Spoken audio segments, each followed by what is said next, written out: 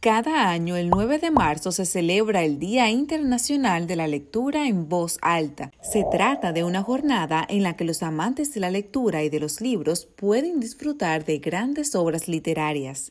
La lectura es una herramienta de integración familiar muy importante desde los tiempos más remotos de la historia. En la antigüedad, las familias se reunían para narrar o contar historias. Beneficios de la lectura. Entre los numerosos beneficios que tiene la lectura se encuentran mejora y facilita el aprendizaje, crea interés por la investigación, estimula la creatividad en los niños. En muchas familias es tradición reunirse todos juntos para pasar una tarde de lectura y en muchos casos una persona será la que lea un fragmento de un libro o una pequeña historia a los demás miembros de la familia. Feliz Día Internacional de la lectura en voz alta. Queremos enviarte las efemérides escolares por WhatsApp. Agrega nuestro número a tu lista de contactos. Link en la descripción.